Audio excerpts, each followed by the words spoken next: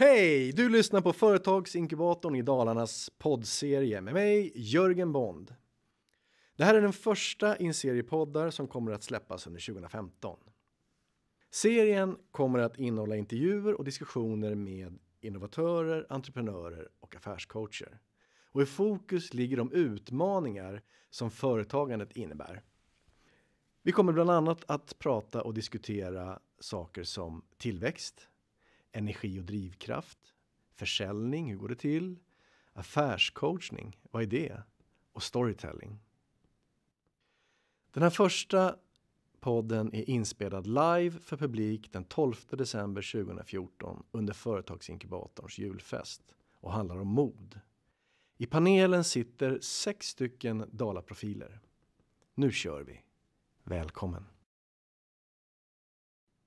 Den här korta paneldiskussionen ska ta ungefär 20 minuter och den ska behandla modet att våga. Och jag skulle påstå att bland det modigaste man kan göra det är faktiskt att delta i just den här panelen. Ingen av er, och det här är på riktigt, ingen av er vet vad som ska hända. Kaxigt, tycker jag. Eller? Hanna Nilsen, en artist och konstnär där utmärkelserna duggat tätt under 2014. Eh, bland annat så har Hanna stått för den konstnärliga utsmyckningen av Mora Resecentrum. Har ni inte sett det, åk dit. Dan Trum, en uppskattad affärscoach, entreprenör och delägare i bland annat varumärket Roomy som säljs på bolaget utan alkohol. En av Dans grejer det är att eh, alla nej för dig närmre ett ja. Anna-Lena, eh, entreprenör, delägare i Nordica Design som vi hörde förut. Eh, och under 2014 så har ni tagit er i särklass största order med en, eh, jag skulle säga en nybyggarsyn på tillvaron och innovativ eh, syn på nya idéer och utmaningar. Göran, från det kreativa företaget Cirkus Grön. När jag skulle försöka lista ut hur man beskriver dig bäst så sa jag se upp i backen, håll i hatten, här går det undan. Och ordet tillsammans tänker jag symbolisera dig. Malin? Seriell entreprenör. En som inte kan låta bli. Bland annat så, så har Malin varit delaktig i bolag som Prioleva, Dalakassen, Skevebröd och sen skulle jag vara lite putslustig så jag sa som du har på ditt samvete. Ni behöver inte skratta. Okej, okay, Håkan Alfon, investment manager på Almi Invest. Och, eh, du verkar tänka att, eh, att 500 miljoner potentiella tv-tittare under VM det är som vilken dag som helst på jobbet. Och då vill man ju säga så här att de här sex människorna de representerar min alldeles lilla egna moodboard. Om man letar efter definitioner på saker och ting, som jag väldigt, väldigt gärna gör och ska hitta definitioner på mod, så finns det en som jag gillade som låter ungefär så här. Mod är att vara rädd, men övervinna rädslan för att göra det som ska göras. Det låter väl fint? Eh, och man brukar skilja på fysiskt och eh, moraliskt mod. Och det vi ska prata om här det är ju det moraliska modet såklart. Alltså modet att våga göra saker trots att jag kanske själv personligen utsätter mig för en, en risk att eh, missa på mitt eget jag. Det säga, jag ska inte säga det, men, men, uppgiften är större än mitt eget jag. Det brukar finnas folk som säger så här, jo men det är väl lätt för dem där att sitta där i soffan och, och prata om mod, för de har ju det. Eller hur? Och så kanske det är. Vi får se. Eller? Är det någon av er som är lite extra nervös nu? Håkan är lite nervös. Ni måste luta er fram och svara. Jag är nervös. Okej, okay, ni fick i uppgift av mig att plocka fram tre stycken beteenden som ni tycker symboliserar mod. Och då är det inte egenskaper som modiga människor har, utan det är beteenden som, mod, som modiga människor gör. Vad, vad, vad, tänker du, Hanna? Vad är ett typiskt beteende? Ja, jag tycker att mod är ju att ja, men våga drömma stort och sen våga satsa på det. Och även fast man är rädd för alla misslyckanden, våga genomföra det och liksom stanna i den här rädslan tills man har kommit igenom den och kommit ut på andra sidan. Det tycker jag är mod. Och det kan man ju ha på olika sätt. Det kan ju vara att förverkliga drömmar som företagare eller att eh, stå upp för det man tror på, visa civilkurage i olika situationer eller eh, mod nog att inse sina svagheter och be om hjälp i olika situationer. Så tänkte jag. Mm. Vad tänker du då? Eh, mod för mig, bland annat eh, våga göra eh, det man tänker, våga göra det också. Det är mod för mig. Mm. Vad tänker du, Lena? Mm. Ja, mod egentligen tycker jag handlar om att, att utsätta sig för risker som kan, kan vara ganska stora också. För jag, jag har lite svårt att förhålla mig till mod kontra att våga. Jag tycker mod kanske är något ännu större, att man kan göra någonting som kan vara rätt osjälviskt egentligen också, men där belöningen kan komma i efterhand också och slå tillbaka på en själv. Men att man kanske gör saker för, för andra eller för, för någon större sak. Mm. Vad tänker du Göran, vad är mod? Ja, när jag fick frågan att vara med här så då var jag väldigt förskräckt och väldigt lycklig och väldigt nervös. Jag heter Göran och jag är väldigt nervös. Nej. Det är nämligen så att jag brukar säga att jag är väldigt hudöm och fragil. Som Jörgen var inne på så har jag väldigt mycket hud för tillfället också på grund av alla julbord. Men mod för mig är att vara naiv. Att inte ta med alla risker, precis allting som kan gå fel. Men jag menar inte blåögd, utan naivitet som barn har, att man ser saker på nya eh, sätt och att man kombinerar nya saker och är väldigt nyfiken på varandra och tillsammans, som du sa, skaffa sig rätt energi i form av människor runt omkring mig. Okej, tack. Malin, tänker du om mod? Mm. Jag tycker att det är modigt att eh, ifrågasätta, att agera, att eh, våga bryta mönster och eh, ta sig ur trygghetsträsket för att man tror att det finns något som är lite mer spännande kanske. Mm. Okay. Söka utmaningar, mm. lite spänning. Det verkar funka bra. Ja, hittills. Men jag är väldigt rädd för att misslyckas, så då blir det jobbigt för mig. Håkan, vad tänker du om mod?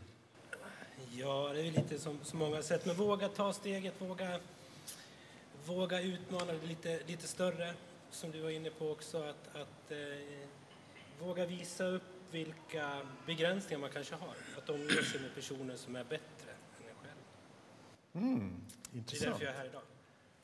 Ja, och jag skulle kunna säga så här, i mitt fall så är det inte så svårt. Nej. Med folk som är bättre än jag. Alltså. Vad är du rädd för, Håkan? Nej, kanske inte var på. Så, nu hörs jag lite bättre också.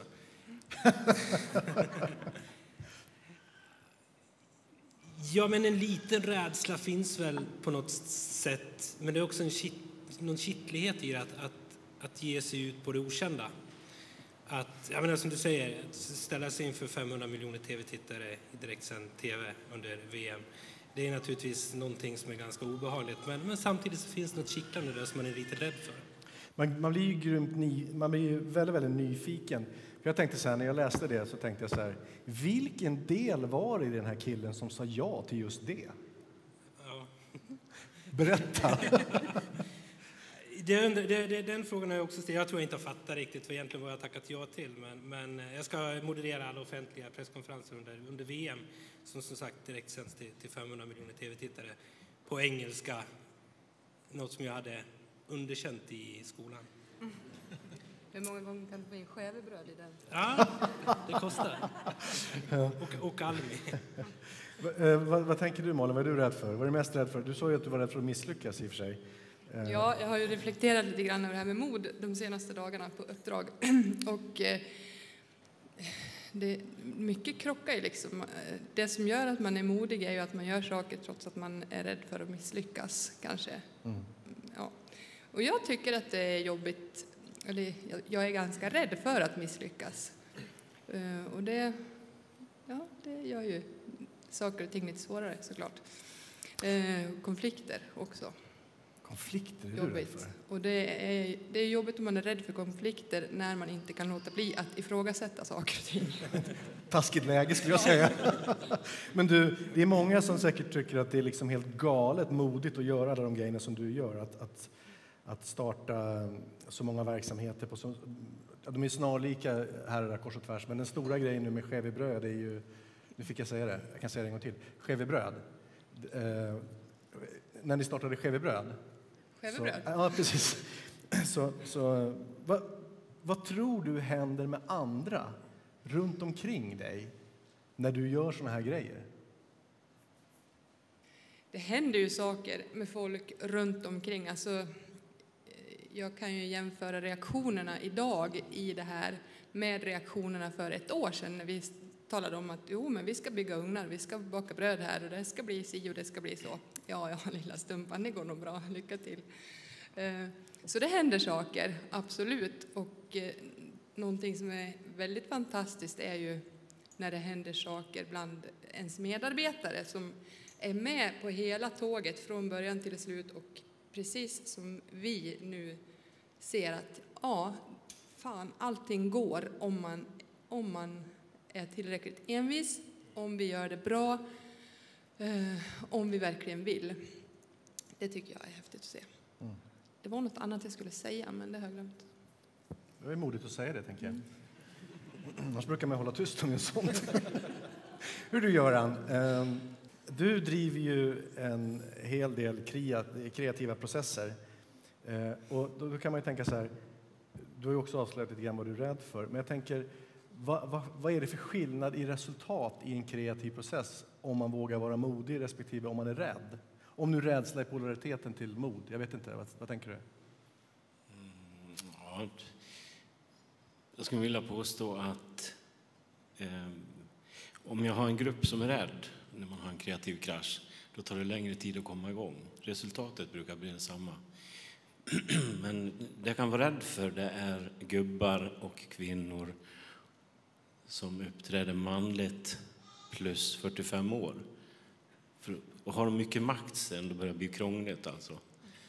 Så de är jag lite rädd för, men jag är inte rädd för dem som människor, men jag är rädd för dem i gruppen. För att det tar lång tid att få dem att slappna av. Mm. Och våga leka, vilket är väldigt viktigt. Och så framförallt vara snälla, för jag påstår ju att jag ska samla på snälla människor. Och det är jättemånga snälla människor här idag. Och sådana samlar jag på. Inte snälla som korna, utan som vill väl, men kan tycka olika saker. Men resultatet blir samma, men startsträckan är man blåser tid om, om det är någon som är rädd i gruppen. Okej, Och om det är någon som är för modig också så får vi samma effekt. spännande. Jag satt just och funderade, jag vet inte, ni andra kanske sorterade också in er själva i, i de här kategorierna som man gjorde. Jag tänkte så här, det var skönt att det sprack på sista punkten där jag har ingen som helst makt. Så att... Anna-Lena, när ni eh, under 2014 nu lämnade in eh, eller deltog i en upphandling för demensboende i Falun och spöade, alltså jag vet inte om ni andra vet det, de kanske är här, kanske blir jättearga på mig säger det, men ni spöade ju faktiskt eh, White arkitekter i den här upphandlingen. Eller? Det tycker jag är kaxigt. Då tänker jag så här, vad var det som gjorde att ni stack ut? Vad skilde er från de andra? Ja, jag vet inte om det kopplar direkt till den här diskussionen med mod, men, men eh, det som stack ut var att vi ville göra uppdraget på, på användarnas villkor. Eh, och om man nu säger något att våga, att, att våga göra en arkitekturprocess på ett annat sätt än vad, vad arkitektbolagen gör. Och det där var väl inte riktigt jättepopulärt i alla kretsar, tror jag. Så du tänker det var inte speciellt modigt, tänker du? Det låter jättemodigt. Dan, Eh, jag läste en artikel eh, för ett tag sedan med dig där du sa just precis det. Alla nej för dig närmare ett ja. Och för att våga tänka en sån tanke, alltså det vill säga att det stämmer, var, var i lägger, var i lägger, ligger själva utmaningen att våga tänka det, tänker du? Ja, utmaningen, utmaningen. Eh, det är mycket erfarenhet som gör det.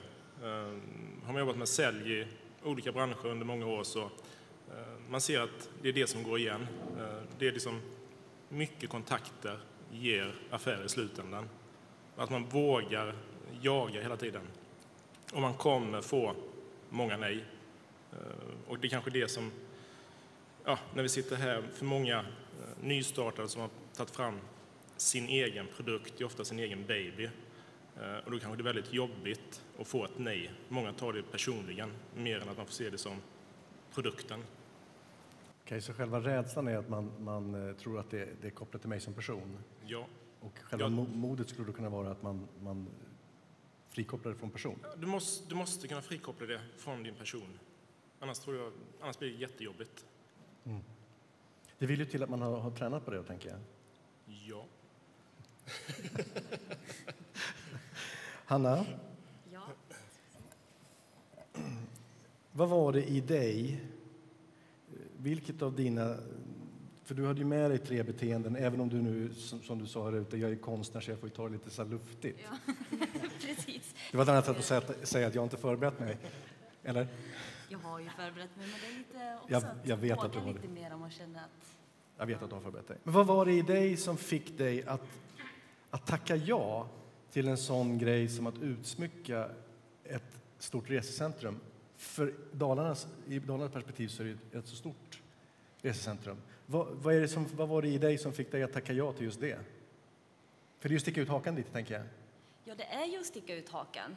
Ehm, dels för att det var mitt första stora projekt på det sättet, men det som fick mig att tacka ja var ju att om jag känner att någonting känns spännande och som kan ta mig framåt mot mina mål så ska jag inte säga nej för att jag är rädd. Så jag sa ju ja. Och sen eh, fick jag ju bara jobba. Alltså, så att det var ju... Ja, men jag har bestämt mig på något vis att jag inte ska säga nej om det är någonting som jag vill och som jag tror att Ska är jag få bra. en fråga till mig sen efteråt? Får vi se om du säger nej. Okej, ja. Jag tar den utmaningen. nej, men, eh, nej, men det var väl det som var... Och så tycker jag att mycket av drivkraften är ju att bli utmanad och få nya utmaningar hela tiden. En av mina största rädslor är väl att liksom fastna och bli, bara gå på samma, i samma arbetsprocess då på något vis. Det är väl det som jag inte vill, så då måste man ju säga ja till det som är nytt och läskigt och utmanande. Om jag, när jag lyssnar på er nu eh, så, så tycker jag, om jag skulle försöka sammanfatta det ni har sagt, så ligger allting i görandet. Alltså att göra saker. Låter det som jag har sammanfattat det då? Och vi har inte övat på det här, utan det slog mig helt nu att vi pratar väldigt mycket om att, att göra saker. Och det tycker jag det är kul. Och om man nu lyckas, jag, tänker, jag brukar tänka så här att det är inte den som, som vill lyckas mest som lyckas. Utan det är den som har modet att göra grejer som lyckas. Och man kommer förmodligen att springa fel. Men om man lyckas, då tänker jag så här, eller om man har det här modet att våga, då kan det vara så att eh, nästa gång så är det någon av er, ja, ni har ju gjort det här själva förresten i någon utsträckning, men jag tänker generellt att då är det någon, någon annan som har startat ett skevebröd. Inte just skevebröd för det är ju upptaget, men det kanske finns någon annan.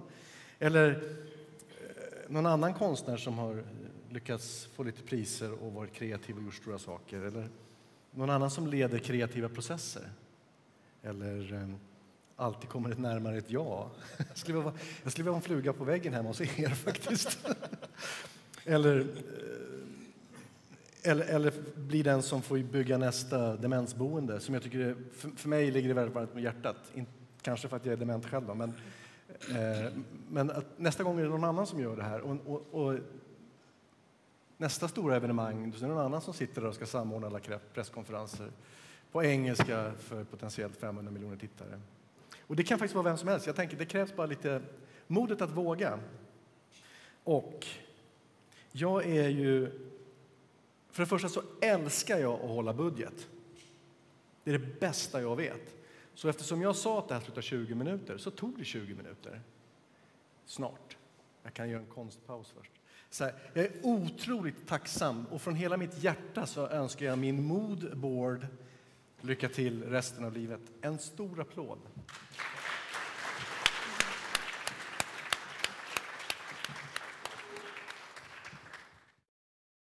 Alright, du har nu hört den första i en serie poddar från Företagsinkubatorn i Dalarna. Vi kommer släppa åtminstone en podd per månad under hela 2015. Har du tur kan du kanske få höra lite bloopers också. Vi hörs igen. Till dess, lev väl!